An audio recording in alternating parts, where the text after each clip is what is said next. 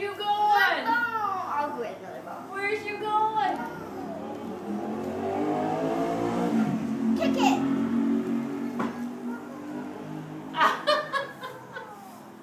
Should we get another one? Olivia's getting one.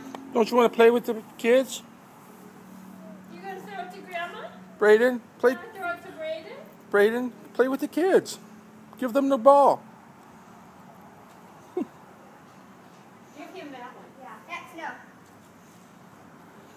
Basketball. Oh. And it's rubber. Brayden's ball. The baby ball. Big ball. Big boy ball. Basketball. Like really, that, right, What are you doing?